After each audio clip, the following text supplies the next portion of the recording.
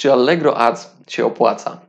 Z doświadczenia wiem, że wielu sprzedawców reklamuje się z wykorzystaniem Allegro Ads, ale tak naprawdę albo nie do końca liczą, liczą niepoprawnie lub w ogóle nie liczą, e, czy te adsy przynoszą im zyski, czyli czy przynoszą przychody, które pokrywają wszystkie koszty.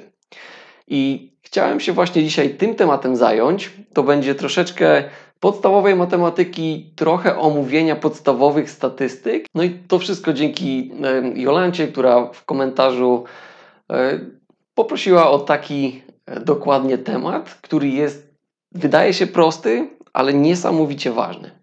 Dobra, żeby dłużej nie przeciągać, zaczynamy.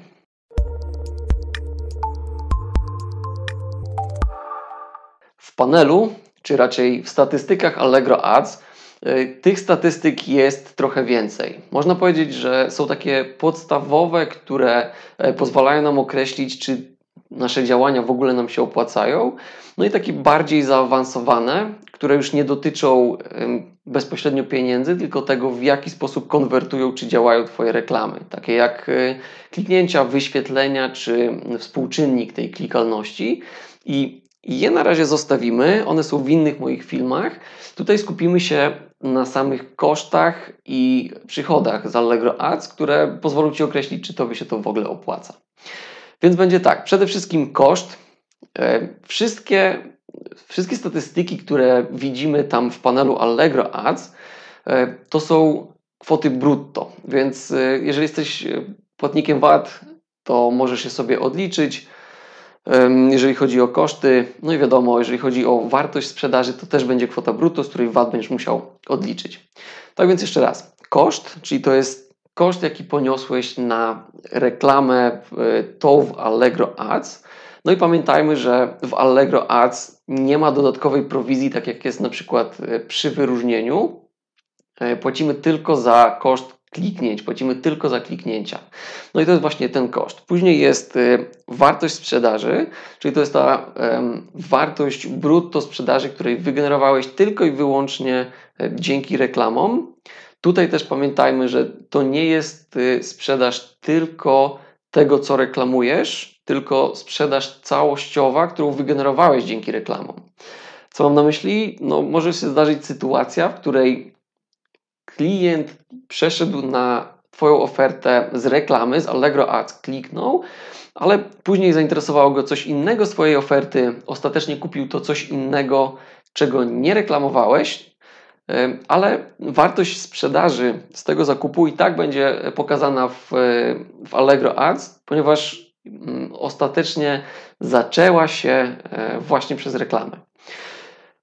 No i e, zwrot Zwrot jest y, współczynnikiem, który mówi nam po prostu, ile złotówek przychodu wygenerowaliśmy, czyli ile wartości sprzedaży wygenerowaliśmy na każdą złotówkę kosztu, który ponieśliśmy. No i wiadomo, im większy jest ten zwrot, tym y, bardziej opłacalne są Twoje reklamy.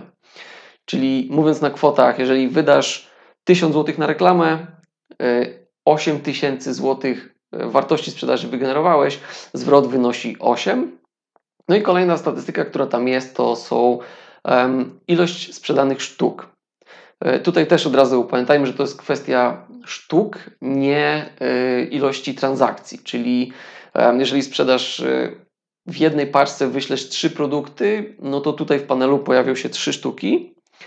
No i to będzie przydatna informacja dla Ciebie, jeżeli będziesz chciał wyliczyć koszt pakowania i obsługi tych wysyłek, no bo to też będzie wpływało na efektywność Twoich reklam, czy na wynik finansowy z Twoich reklam.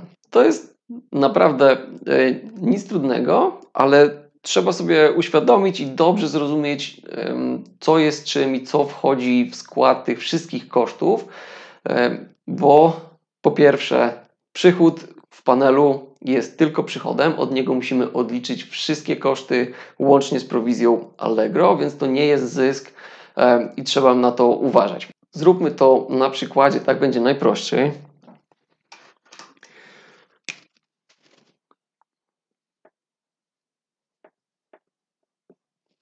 Tysiąc złotych. Przyjmijmy, że taki chcesz zainwestować na sam początek budżet. No i przyjmiemy tutaj okrągłe wartości, żeby łatwo to policzyć, po prostu pokazać, pokazać Ci, w jaki sposób to policzyć, a później przejdziemy do konkretnego przykładu, który podała nam Jolanta, żebyśmy mogli zobaczyć, jak to wygląda u niej i tam troszeczkę inaczej to było pokazane, ale wszystko po kolei. Więc tak, koszt mamy 1000 zł, wartość sprzedaży dla prostego rachunku 10 tysięcy złotych, no i to nam da zwrot 10. E, no, Allegro E, Allegro w panelu Allegro Ads oznacza to jako 10 zł. E, nie wiem po co są te złotówki tam, to jest po prostu zwrot 10, no ale zapisałem tak jak oni. Dobrze, no i po prostu.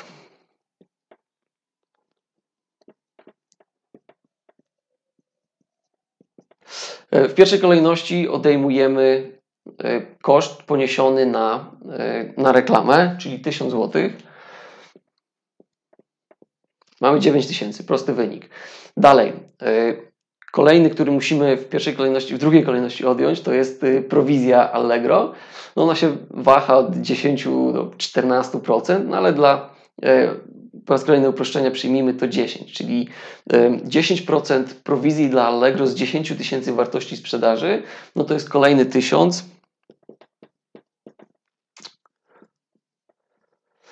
Mamy 8 tysięcy złotych. No i teraz koszt towaru, który poniosłeś, przyjmijmy, że, że wydałeś na to 6 e, tysięcy złotych.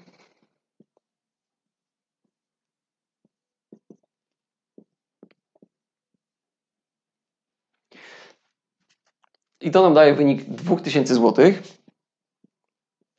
Weź pod uwagę, że przy 10 tysiącach wartości sprzedaży ja przyjąłem 6 e, tysięcy e, złotych kosztu poniesionego na, e, na towar, czyli to jest około 40% mar- to jest 40% marży.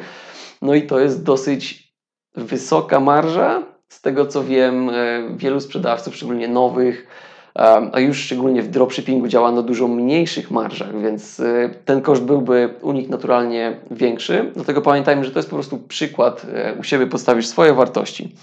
No i w tej sytuacji e, przy takich e, założeniach i danych ta osoba zarabia 2000 zł. No i to już by był e, ten dochód, którego zostałoby nam tylko opodatkowanie, to jest poza Allegro. Natomiast jest jeszcze więcej innych kosztów, które musisz uwzględnić.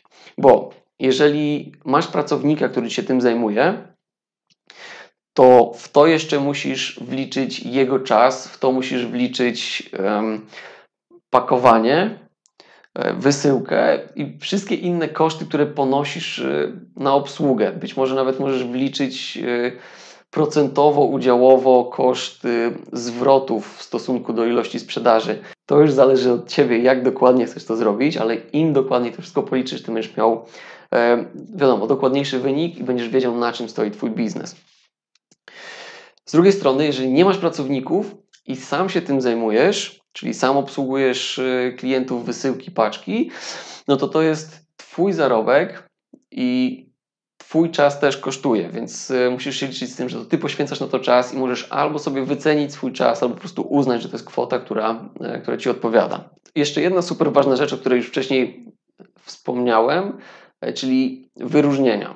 Pamiętaj, że jeżeli sprzedajesz na Allegro i wyróżniasz oferty, które później dodatkowo reklamujesz na adsach, no to wtedy te opłaty się kumulują, wtedy się sumują, bo z jednej strony płacisz za Allegro Ads w postaci kliknięcia, no i jeżeli ktoś przeszedł na ofertę, reklamowałeś w adsach ofertę, która jest dodatkowo wyróżniana, no to wtedy jeszcze musisz zapłacić tą dodatkową prowizję, którą e, Allegro pobiera za sprzedaż wyróżnionej oferty.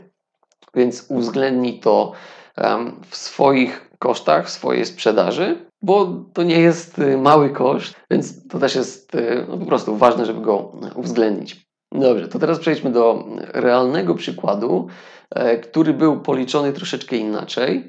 Ok, więc jakie tutaj mieliśmy mm, informacje? Więc y, Jolanta napisała. Y, Mateusz, mógłbyś zrobić film, jak czytać wyniki Allegro Ads. Um, oczywiście mam nadzieję, że już w komentarzu Ci odpowiedziałem, a to Ci rozjaśni całkowicie sytuację. Dzięki za komentarz. Um, no i dalej. Napisała, że marża wynosi 25%, ale już po prowizji Allegro, czyli to jest ten ta czysta marża dla niej, od której odliczamy już tylko koszty reklam, e, no i koszty właśnie pakowania czy obsługi. I dlatego, jeżeli przy kosztach 100, koszty 143 zł, więc trochę niższe niż w wcześniejszym przykładzie, e, zwrot 7,3 sprzedane sztuki 27, no i wartość sprzedaży 1047. Żeby tutaj policzyć, y, czy się wszystko zgadza, czy to się po prostu opłaca i czy warto kontynuować, y, wystarczyłby nam sam zwrot, jeżeli wiedzielibyśmy, e, jaki zwrot jest nam potrzebny, żeby, jaki jest ten punkt graniczny, kiedy już zarabiamy, a kiedy jeszcze ponosimy koszty. No i ten, ten punkt graniczny zależy od, od marży i od wszystkich kosztów. Więc tak naprawdę w tym przypadku nie patrzę na zwrot, bo nie mam jeszcze wyliczonych tych wartości, czyli swojego minimalnego zwrotu, na którym zarabiam, czyli już na, na konkretnych danych E, będę obliczał, czy to się opłacało. Czyli tak naprawdę teraz już działamy na statystykach historycznych i sprawdzamy, czy to się opłaca. A jest jeszcze metoda, żeby to po prostu wyliczyć e, przed rozpoczęciem. Na podstawie e, swoich statystyk, informacji będziesz w stanie wyliczyć ten swój minimalny zwrot i mając już tą statystykę, po prostu będziesz w panelu dążył do, do tego zwrotu E, właściwie do jak najwyższego, ale będziesz wiedział, że jeżeli e, nie przekraczasz tej danej wartości, to cały czas jesteś pod wodą i po prostu reklam się robić nie opłaca. Wiemy na pewno, że wartość sprzedaży 1047 i mamy informację, że marża, to już marża efektywna po odjęciu prowizji Allegro to 25%.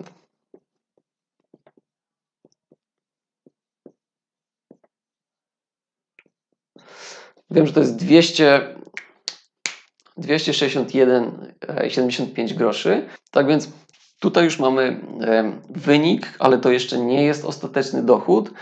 Pamiętamy, to 25% to jest marża, która uwzględnia koszt produktu, e, koszt towaru i prowizję Allegro.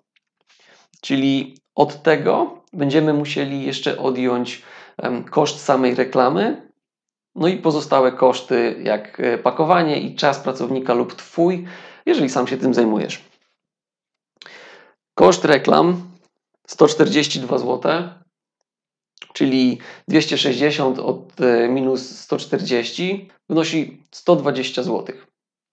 No i jeżeli e, koszt pracownika i koszt wysyłki i zapakowania 27 sztuk co też wiemy z panelu, jest mniejszy niż 120 zł, no to to już jest, y, to już jest wynik na czysto, to jest zysk i to znaczy, że się opłaca. Więc ja już nie będę zgadywał, czy te wartości są większe od 120, 120 czy są mniejsze. To zostawię do policzenia, natomiast y, wierzę, że to już się opłaca. Taka marża to jest, y, to jest dość duża marża z tego, co się spotykam i przy wyniku e, powyżej 7 w tym przypadku opłaca się robić te reklamy. No dobrze, ale wspomniałem o tym, że da się wyliczyć ten zwrot, przy którym ci się opłaca i przy którym ci nie opłaca robić reklamy.